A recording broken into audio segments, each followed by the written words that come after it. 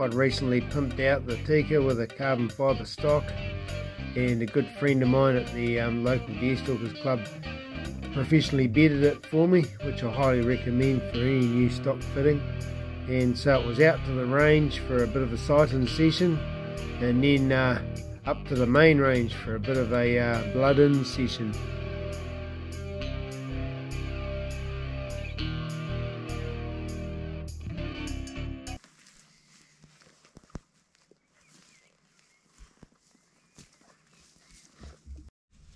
Yeah, that's uh, John Clark. He's one of my subbies. You might see him on a few hunts yet. We're just out here shooting the shit and um, just watching a few faces. And he's got work tomorrow. I haven't, so I'm going into a hut and staying the night and going to try my luck elsewhere.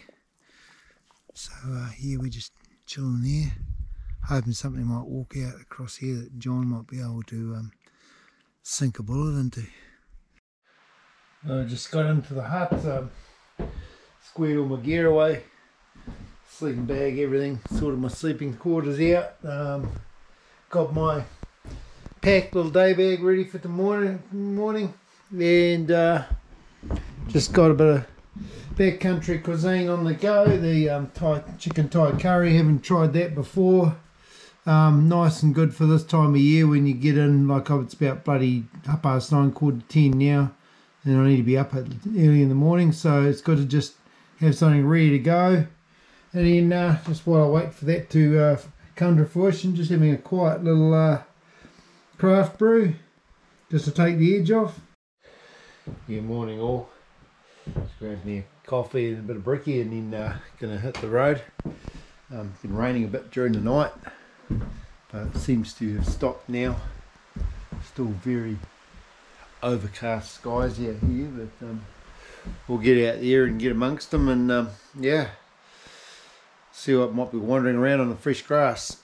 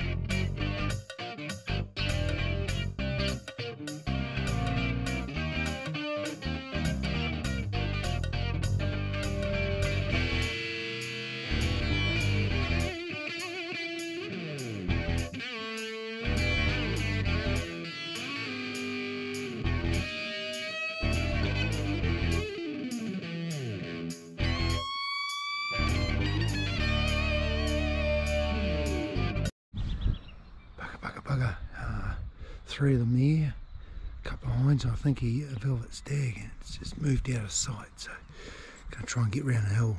I think they'll make the cover before I get there though. Well, almost thought I was in with a second chance there, but um, no go. Keep on persisting. Well, there was um, two velvet stags in the hind, and uh, that hind, she started moving first. They're usually the first to move, and yeah, she she started, she knew something was wrong. She's leading those other two out of it. Bit of excitement there, got the jump on me. Um, so only thing to do is keep heading around further and uh, hopefully we'll chance something else that hasn't made the bush.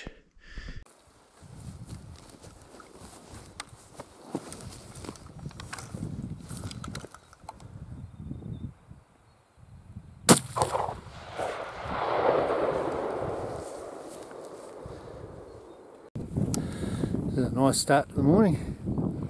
Rolled a yearling, about 100 and, I know, 150 yards flat. Ran about the same place I got one about a month ago. So a little wee honey hole here. Another yearling ran out past me here. I was running up to have a look. Is it barking at me on the ridge there somewhere? There you go, I can hear that barking. I don't know whether you can hear that barking, but yeah. Halt. Okay, and go to go around for a bit of a look. Well, we're going to get down there and uh, get the new honey badger knife to work.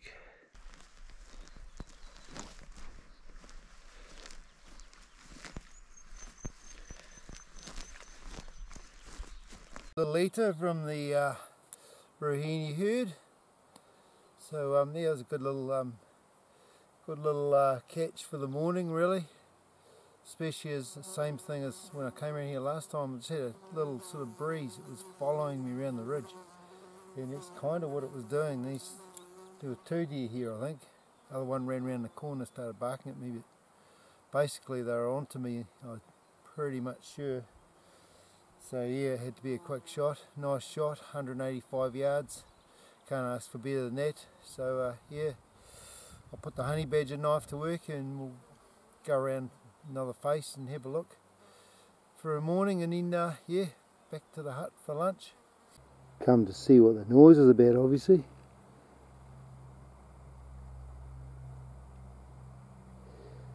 Safe from me even if I hadn't shot something. Once again, skyline. Never ever shoot on the skyline team.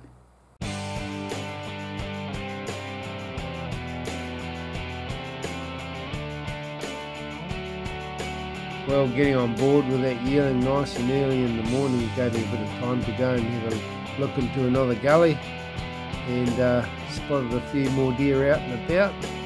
So it was awesome to see. It's good to just go and tune the eyes in with the albinos.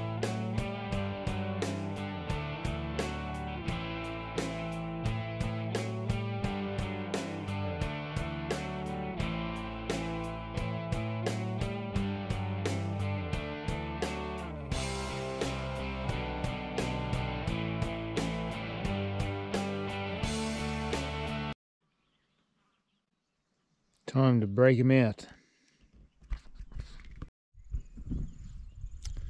Yeah, well, um, yeah, apart from those um, little handful of hinds, and not a hell of a lot moving at the moment, so, so might go around and uh, put the honey badger to work once more, and then uh, back to the hut.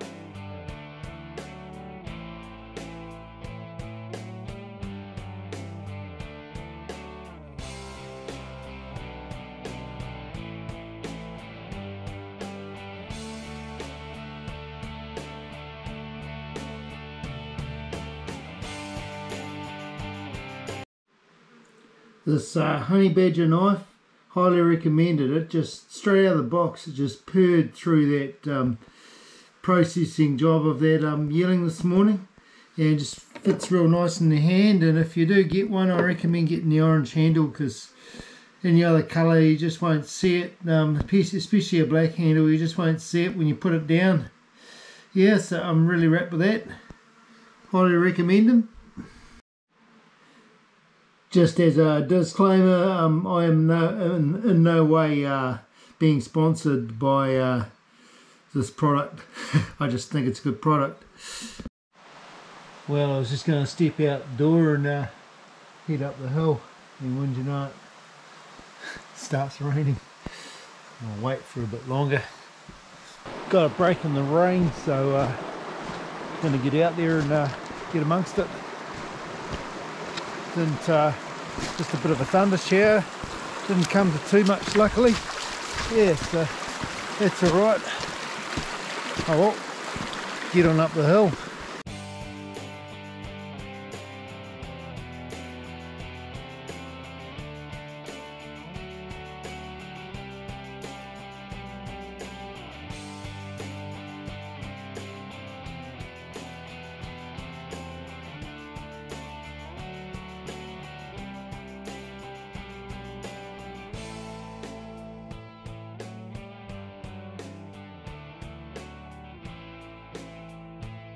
I'd spoken too soon. I no sooner got up the top of the hill when it started to uh, come down in buckets again. So I made a safe retreat to some heavy uh, native bush and then just sat out on the edge of it in case another shower came along and got the binos to work.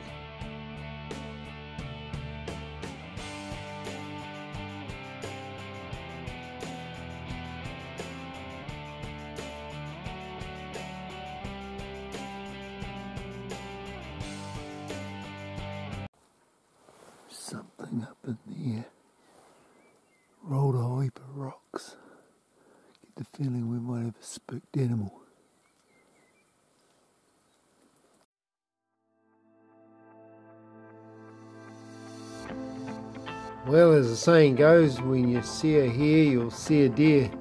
And that proved to be only too true in this case.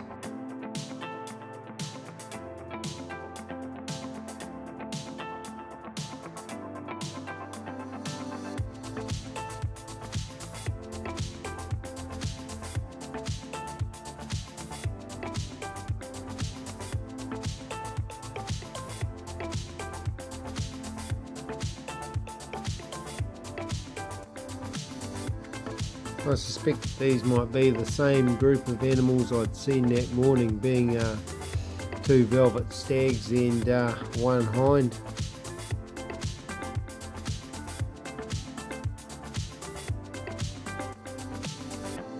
I think that was those um, deer I seen the first thing this morning. Their hind and the two stags, velvet stags. But I'm going to leave them. Not worried about them. I've got one on deck, so it's more than I can handle for now. So yeah, it's pretty cool.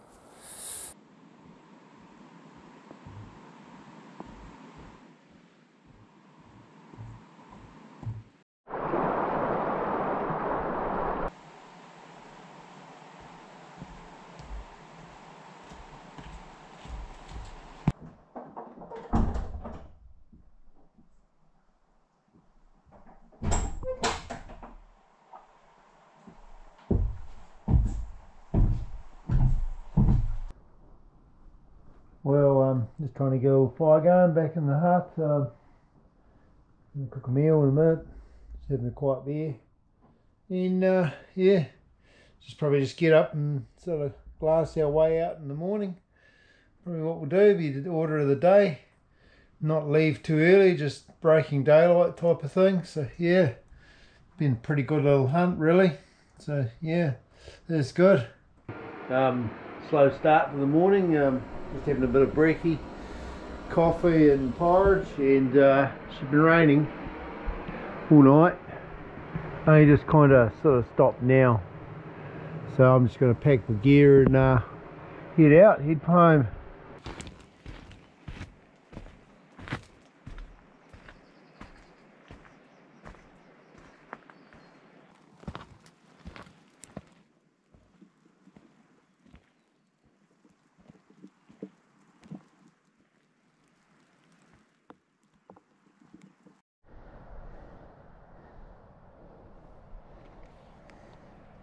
Rounds out another little hunting mission. Another little Stag Slayer 300 hunting mission. Um, thanks for tagging along. Um, make sure you tell your friends and like and subscribe. And uh, by the way, uh, Mr. John, nice to meet you, buddy. And uh, we'll be in touch real soon. Okay, over and out. Catch you all on the next one. Yeah, g'day. Uh, want to get on to more deer want to find out where more deer are sort of hanging about, well, stick by with um, your mate here for this red hot tip. And I'm only going to tell this tip to you because, you know, I like you. You probably subscribe to my channel, so that's probably more of a reason to like you. um, yeah, so um, here goes. Um, it's a food source of deer, apart from grass, of course. What else they like to eat? Well, in the native tree variety in New Zealand, they like to eat um, the number one food source is the broadleaf. The Griselinia broadleaf is its scientific name, or scientific name I think is Griselinia. Um, and here is a, a specimen right behind me here, this nice round shrubby bright green tree.